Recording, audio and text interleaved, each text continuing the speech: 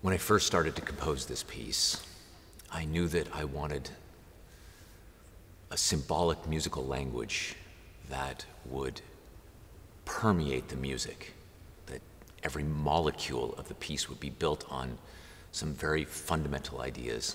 And I also knew that the subject matter was, was so dense, was so difficult, was so profound that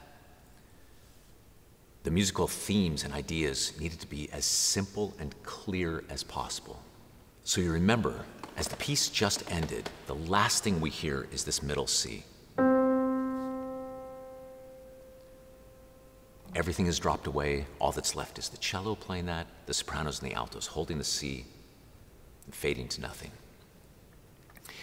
That's because very early on, when I started to write that first movement, I decided that the veil itself would be represented simply by the middle C. And this was taken from Tony's words this idea that there's the veil is this ribbon of energy that exists between the world of those who are living and those who have passed. And that in moments of birth or death, those two sides become so close, they're just right there. And what I wanted to do then is paint this idea that that veil is omnipresent and eternal. And so we begin the piece on middle C. Those are the first notes that we hear. And then the cello's very first entrance after that introduction is, after the piano introduction, the veil opens. And then the last thing that we hear is that middle C. And the idea then is that that veil is always there. Then throughout the piece, what, what I do is I, I play with this idea of the side of the living and the side of those who have passed. So oftentimes, music will be here and then Child of Wonder, for instance. And what's happening then is we we raise up into the world of the living. Sometimes it comes back down other way so that it's now moving down below middle C into the world of those who have passed. And oftentimes, like in magnetic poetry,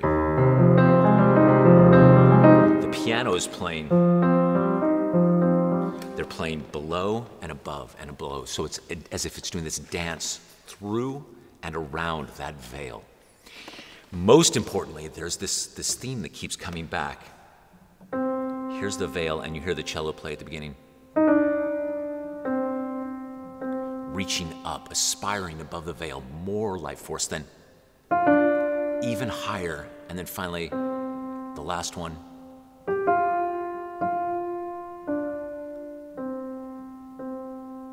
For me, this paints the, the, the life cycle that we all go through, that we're, we're born on, in this, this ribbon of energy. We lift, we reach, we aspire, but then slowly, inevitably, we're, we're pulled back into the veil back to that middle C.